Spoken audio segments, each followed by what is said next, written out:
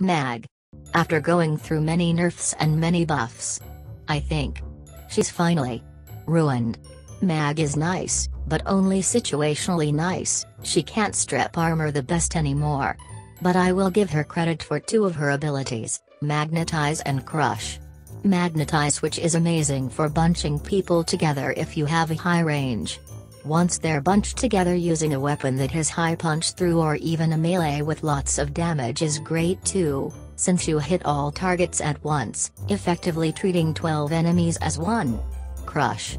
Giving Mag a really sizable amount of overshields and doing nice damage to low levels, but against higher enemies I'd feel unsafe using Mag. That's why you guys need to watch this fucker's video since I hate Mag. Bye.